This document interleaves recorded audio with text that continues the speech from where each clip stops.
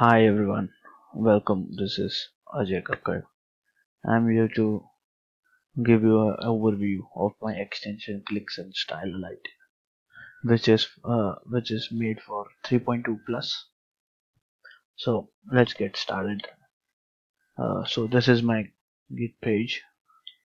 So you can download the extension from my Git page, which is github.com slash ajaykakkar93 or just search for my name. There you go. This is for the old version. I have some more extensions like xkpi 1234 uh, tab container etc etc so let's see what we have so in my extensions as you can see I've prepared a small example here what you can do with it. So I'll first show you what are the basic style we have. We have screen resizer. You can resize your screen if you want to.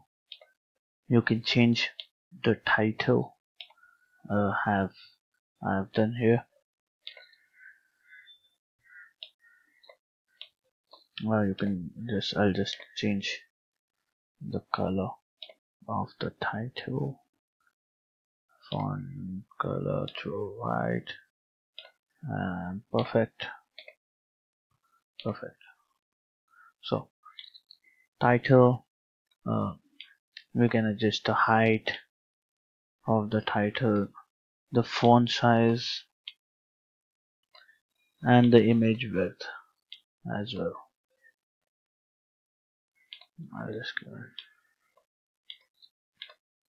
We have sheet background settings.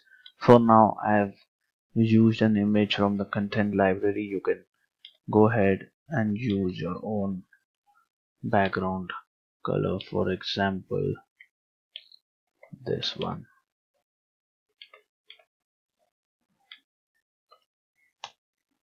perfect.